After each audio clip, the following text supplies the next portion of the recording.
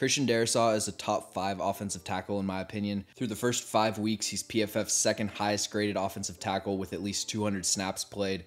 He's only allowed seven pressures, and this is following a really impressive rookie season as well. In these videos, I like to always include a player's strengths and weaknesses, and the only thing I have for Christian Darrisaw that he needs to improve is getting his hands inside a little more. Once he refines his hand placement, he'll be better at sustaining blocks in the run game, and he'll be less susceptible to holding penalties. But I'm looking at my notes for Christian Darrisaw right now, and that's the only weakness that I had listed for him. Outside of that, he's pretty much the prototypical offensive tackle.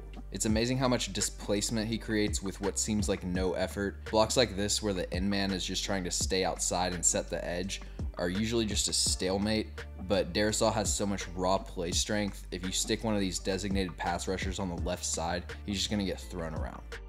On this play, he does a great job of countering the inside movement with his feet, and then he establishes leverage and flushes them out of the play. I've never seen an offensive tackle put speed rushers on the ground at a higher rate than Christian Darrisaw, and this really highlights his combination of agility and power.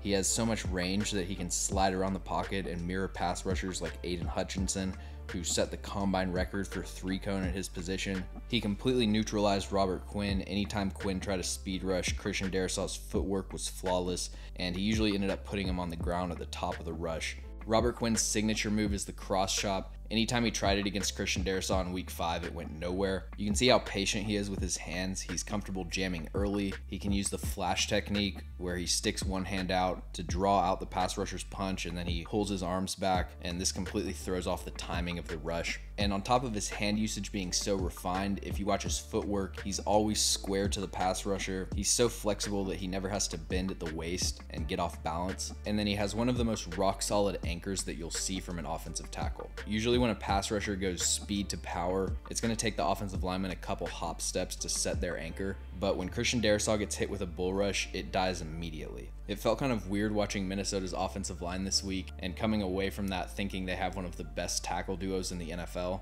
But Brian O'Neill's as solid as ever, and Christian Darrisaw is looking like a slam dunk draft pick. If you enjoy the video, make sure to leave a like and subscribe. Also, let me know in the comments any players or teams that you'd like me to cover.